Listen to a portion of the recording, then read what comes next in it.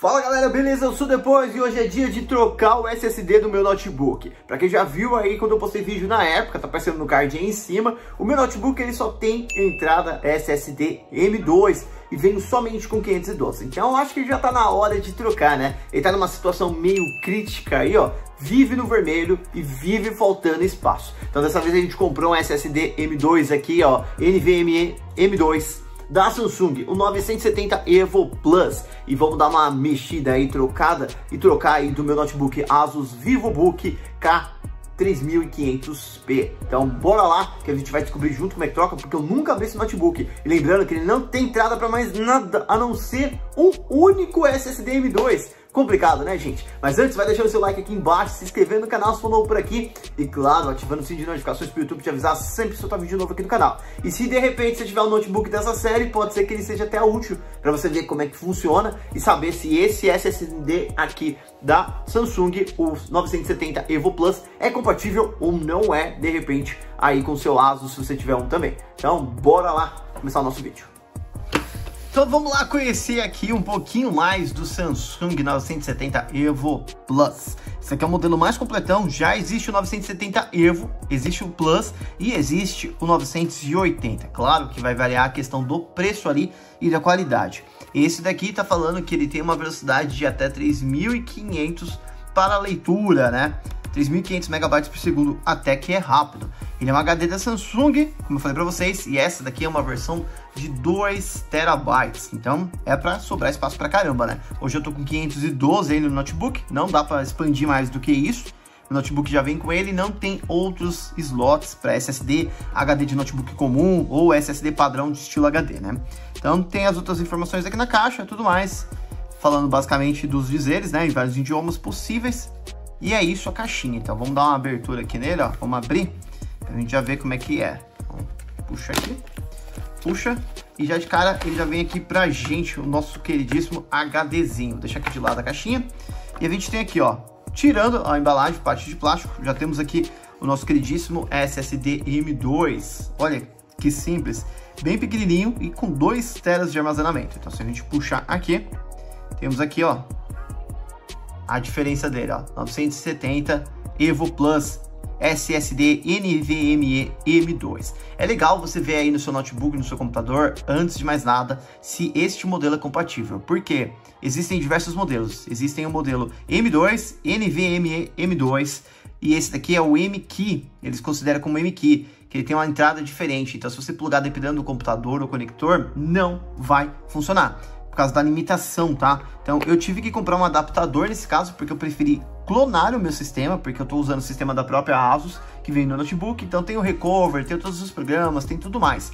Então eu preferi simplesmente clonar. Para isso eu comprei esse adaptadorzinho aqui, ó, que é como se fosse uma case de HD externo, normal, que a gente tem de HD, só que para SSD.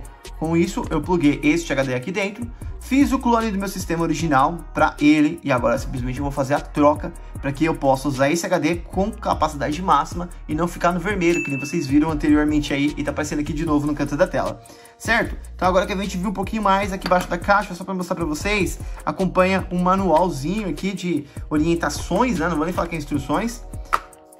Ó, manualzinho de orientações, Solid State Driver, e tem vários idiomas aqui dentro pra gente, vale passo a passo, tá?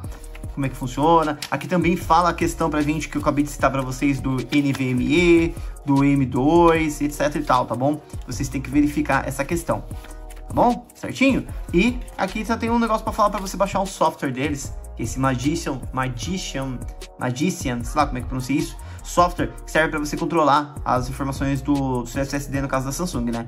Que ele verifica a saúde, a performance, se tem software de update para o SSD ou não para melhorar algum desempenho e outras informações a mais aí.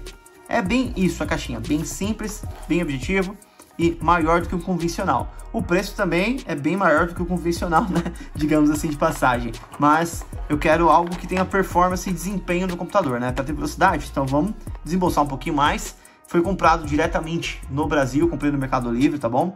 Não quis fazer importação neste caso, porque eu preciso dele meio que para ontem, por urgência. Então já preferi comprar por aqui mesmo. Paguei mais caro, de fato, mas pelo menos já tô com o produto aqui e não corri o risco de ser taxado, visto que já tive um produto aí recusado a entrada no Brasil recentemente de 10 dólares, então não vou nem arriscar, certo? Agora que vocês conheceram, bora lá que eu vou começar a colocar ele no notebook. Então bora, pra gente começar aqui, tá aqui o meu Asus VivoBook K3500P. Como eu falei pra vocês, ele só tem um slot de entrada de cartão. E olha, não tem nenhuma conexão na parte pra gente ter acesso. Então eu sou obrigado a simplesmente soltar toda a tampa para ter acesso ao SSD atual e aí sim fazer a troca pelo novo da Samsung, certo? Então eu vou usar esse kitzinho aqui de ferramentas que eu tenho, que já vem com a paletinha para a gente poder soltar sem ele ficar carcaça.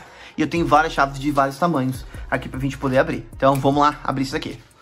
Pronto, todos os parafusos foram soltos, são 10 parafusos ao todo. Uma dica que eu dou para vocês é separar os parafusos de acordo com as posições. Exemplo, essa foto que está aparecendo para vocês. Por quê? Porque os parafusos de baixo, por exemplo, eles são menores e os parafusos do meio e de cima são maiores. Então, se você colocar um parafuso errado na hora de montar e acabar forçando, isso pode danificar sua carcaça.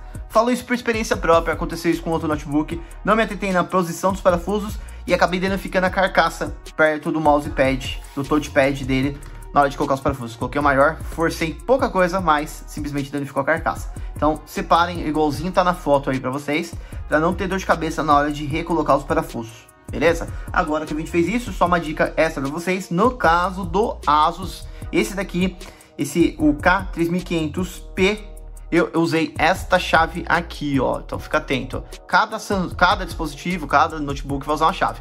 Para este aqui foi uma chave de torque 5 de 40 milímetros. Para estar tá abrindo ele, porque o parafuso dele é estrelado. Para outros pode ser Phillips, para outros pode ser outro tipo de parafuso. Mas para esse em questão foi uma chave estrelada T5 40 milímetros. Beleza? Certinho? Então fica a dica aí para você, para você não forçar, para não espanar os parafusos. Agora que a gente já abriu, vamos ter que usar uma paletinha ali, tipo essa daqui, ou se você não tiver um cartão de crédito, alguma coisa, a paleta de violão também serve para a gente ir soltando com cuidado as extremidades. Não usem chave de fenda, porque senão vai marcar totalmente a carcaça, isso vai danificar a carcaça do seu aparelho e vai ficar feio. Pronto, uma vez que você soltou, vou dar uma dica para vocês. Comecem para as extremidades que tem mais abertura.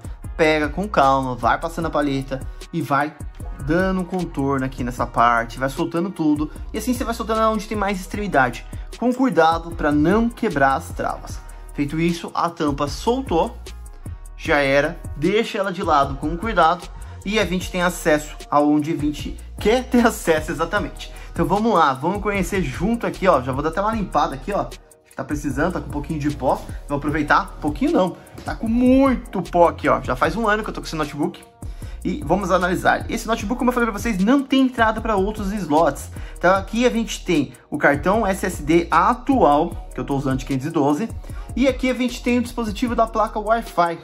Não tem mais nenhum outro slot, ou seja, não dá para colocar HD de notebook convencional e nem dois SSD M2. Se eu tivesse visto isso quando eu comprei ele, com certeza não teria comprado. Fora que ele não tem slot para memória, ou seja, não consigo ampliar a quantidade de memória. Ele vem com 8 GB soldados e não dá para ampliar no caso desse aqui. Então, se você está pensando em comprar um Asus VivoBook aí, se atenta na memória que ele está vindo e se ele aceita expansão de memória ou até mesmo dá para você colocar mais de um dispositivo de armazenamento dentro dele. Isso aqui foi uma compra muito mal analisada e não valeu a pena. Então, apesar de ser um notebook bom, ter uma placa de vídeo dedicada e tudo mais, mas isso aqui deixou a desejar. Pronto, gente, soltei aqui o SSD para dar uma adiantada e já vou dar uma dica para vocês. Dessa vez, o parafuso que estava aqui dentro do SSD não era um parafuso estrelado, é um parafuso pequenininho, desse tamanho aqui. E eu tive que usar uma chave maior, porque incrível que pareça, chaves menores ou até mesmo do mesmo conjunto que eu mostrei para vocês estavam tendendo a espanar a ponta do parafuso. E se esse parafuso aqui espanasse, eu queria ver eu soltar isso daqui. Então, esse é o nosso SSD atual. Soltei, vai subir solta com cuidado. E o atual que a gente tem é esta belezura aqui, ó, de 512 GB. Deixa eu ver se eu identifico a marca aqui. Você está marcado aqui embaixo, SK Hynix, sei lá se é isso mesmo a marca dele. Eu achava que ele era um XPG. Mas ó, simplão, 512. Vou descartar? Óbvio que não, né? Lembra que eu mostrei pra vocês aqui no começo do vídeo essa, essa peça aqui, esse adaptador? Então o que, que eu vou fazer? Eu vou plugar dentro desse adaptador e vou usar ele como HD externo para o meu notebook, visto que vocês acabaram de ver que já não tem outras conexões. Já aproveitei também, já dei uma limpada aí, vocês viram que tava bem sujo, já dei uma limpadinha, passei um pouco aí do pincelzinho para tirar o excesso ali de poeira. Quem sabe de repente isso não tava forçando, esquentando demais notebook ou até afetando o desempenho dele. Agora é bem simples, vou pegar o SSD novo aqui, ó, do Samsung, vou plugar ele aqui de volta. Lembrando, lembra que eu falei para vocês que o notebook precisa ser compatível com esse tipo de SSD NVMe 2, M2, tá? Senão ele não vai funcionar.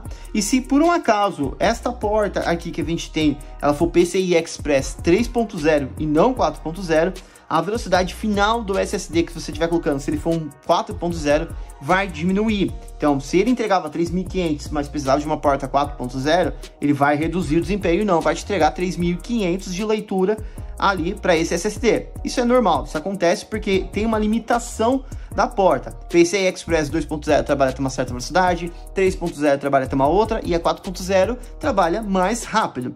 Então, os dispositivos tendem a ser retrocompatíveis, porém, se a placa em questão ela não for na velocidade mais atual, ela vai limitar o que esse dispositivo aqui vai entregar para o seu computador.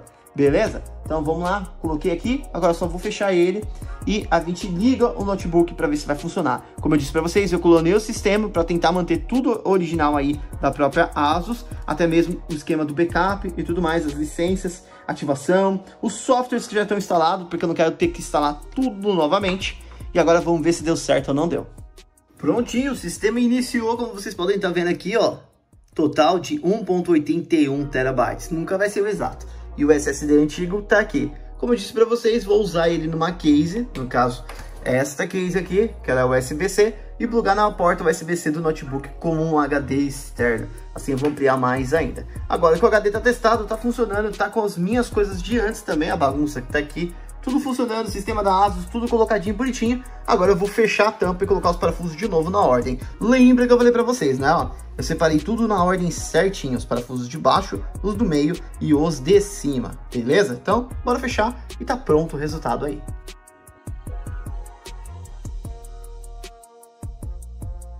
Prontinho, tudo no lugar, já conectado novamente, tudo certinho, posicionado. E olha só aqui que eu falei pra vocês. O HD principal que a gente acabou de trocar de 2TB tá aqui. E esse daqui é o nosso HD antigo, que foi plugado aqui dentro dessa pecinha. Como ela é um USB-C, eu já aproveitei e liguei na USB-C lateral aqui, Thunderbolt 4.0, para te tentar ter o melhor desempenho possível. Então agora não me falta mais espaço, posso lotar esse aqui e ainda fazer um backup dos arquivos no disco externo e levar para qualquer lugar. Curtiu? É isso aí, né? Top, agora eu quero ver faltar espaço nesse computador.